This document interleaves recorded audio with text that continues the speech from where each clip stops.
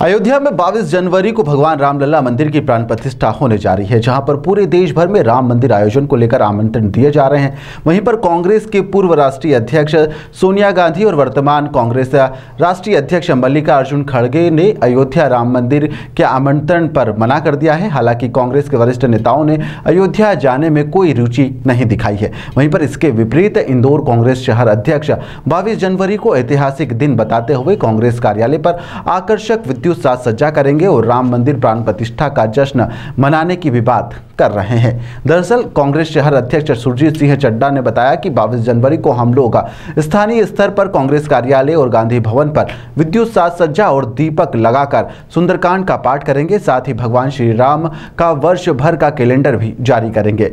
कांग्रेस शहर अध्यक्ष ने कहा है कि कांग्रेस पार्टी राम मंदिर का कोई विरोध नहीं कर रही है, लेकिन सभी शंकराचार्य वहाँ जाने को तैयार नहीं है और धर्मशास्त्र के हिसाब से रामलला की प्राण प्रतिष्ठा नहीं हो रही है तो निश्चित रूप से कांग्रेस ने भी यही कहा है कि मंदिर का शिखर बन जाएगा, पूर्णता मंदिर राम मंदिर का निर्माण हो जाएगा। उसके बाद में कांग्रेस परिवार सहित अयोध्या जाएगी। और सैकड़ों और हज़ारों की तादाद में कांग्रेस के जो कार्यकर्ता हैं, वह अयोध्या में दर्शन के लिए जाएँगे। देखिए, ऐसा है कि हम लोग स्थानीय स्तर पर हमारे गांधी भवन पर विद्युत साज सज्जा करेंगे, दीपक लगाएँगे, ध्वज लगाएँगे, सुंदरकांड का पाठ करेंगे, और हमने सभी कांग्रेस एक कैलेंडर भी राम जी के ऊपर वर्ष भर का जारी किया है, इंदौर शहर कांग्रेस कमेटी की ओर से और हमारे साथियों की ओर से।